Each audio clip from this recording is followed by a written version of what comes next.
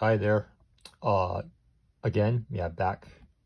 We will be looking at another figure package. This being kind of semi-worn, uh, and kind of the older, uh, old school, um, uh, Marvel Legends figure, being the War Machine James Rhodes, uh, figure, stone package.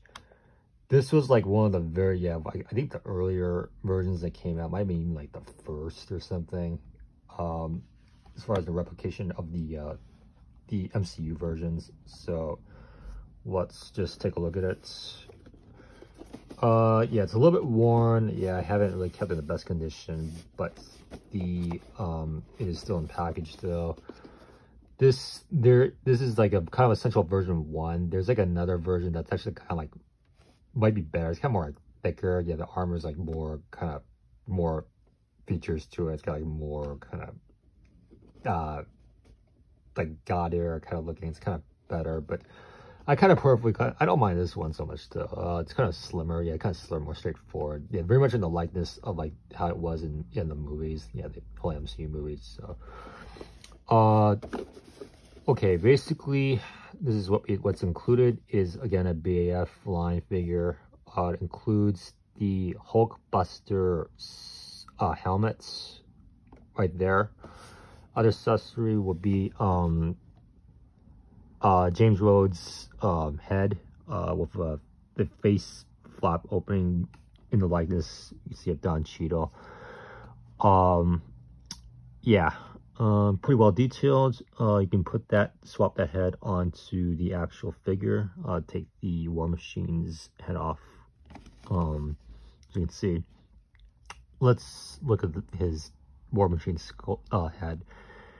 Yeah, pretty well detailed. Uh, yeah, it's pretty cool looking. Uh, there is an effervescent type of red glow highlight to the eyes. Yeah, as far as the uh, Stark Technologies aspects. Here is the power source, power core, the chest. Um, in the whole thorax area, see is just the full-fledged likeness of the movie version. Um, model says FF445 right there. Lieutenant Colonel James Rhodes, yes, engraved right on the armor. An aspect of the military slash uh, shield division. Um, so you can see there's insignia. It looks like, yeah, some kind of, yeah, the lieutenant uh, military insignia, or that might be, uh, as far as, yeah, Captain America, um, yeah, right there. Stars for the United States the uh yeah this yeah you can see the coloration uh yeah silver black uh nice metallic sheen to it. This is not again as i said there's another version that's kind of bulkier more better detailed but yeah it's kind of more of a slimmer version. It stands six inches tall um and it's pretty good for what it is yeah. But it does include uh yeah his I'm not sure, not a repulsor gun, but yeah, the machine gun that, that's mounted on the back, given to his uh, flight ability. Uh, there is, it's ball jointed. Uh, there is rotation, articulation the shoulders. Looks to be bald as underneath the armor, uh, shoulder pads, flaps area. Looks, yeah, it is articulated, can move around. You can see the gauntlets are pretty detailed for the size of the figure. Uh, this one, where it can shoot uh, those type of, uh, I don't know what you call those, those like those smaller type of LRB type missiles. Yeah, there's like repulsor, you know, some kind of variations of repulsor beams and uh, different type of cutting lasers, as you know of. The yeah, hands uh, are articulated ballpoint joints. Um, probably full-fledged rotation and definitely pivot. Yeah, fixed into fist position. And you go to the torso. Yeah, articulation in the um, mid portion. You can probably bend them to the extent forward, probably about maybe 35 degrees or something like that. But yeah, there's a bend to it. You can look tilt back, looking back like that, and then look forward like that. So uh, ball points on the legs, hip joints, rotation, um, and swivel. probably can kick it, yeah, kick forward, kick back to a limited degree, and then kick sideways like a jumping jack, so like that. So that is what his legs can do. Uh, there is articulation of knee caps. You can better put the figure on one knee in different poses. And you look at the feet. Booted, armored, um, cased in armor. There should be ball points. Yeah, it's ball pointed with uh, hinge. Probably not too much movement, but yeah stand them up. If you take them out of package, stand them just upright like that. But I haven't taken them out of package. So look. Here is the side of the figure. Uh, pretty cool illustration of War Machine, all in a uh, incandescent metallic black and white scheme.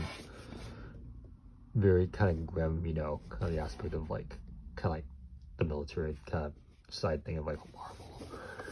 And then the same uh, uh, illustration on the other side. Yeah, there's like another one called the Iron Punisher. There's like another one. I believe there's a few Marvel comics, even like a few Avengers, some of those where teams up a Punisher or something like that. So, yeah. And then the back of the package. Uh, this is yeah the Age of Ultron version. Actually, yes, his full-fledged replication of it.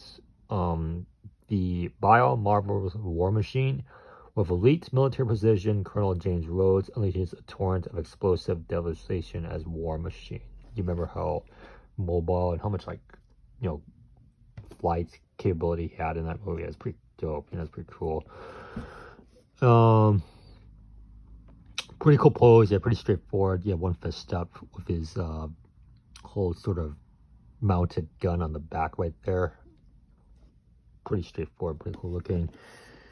And here's what's included in the, as far as for the BF, BAF aspects, we get the Hulkbusters, uh, you can assemble, if you collect all these, you get, you can make a Hulk, Hulkbuster figure. This is probably within like a 7 inch scale. It's really not too big, yeah, but um, you have to collect uh, Marvel Now Iron Man, Gold, and Black Iron Man. And there's yeah, the War Machine, uh, Marvel's Blizzard, Marvel's, I guess Doctor Strange, and I think that's Doctor Strange, and then uh, Vision. Uh, I'm not sure if that is, and then this looks like to be Scarlet Witch right here, one of the versions, or maybe yeah. So, um, collect all those, and you can build a Hulkbuster. Okay, not recommend for ages 0 to 3, um, different languages.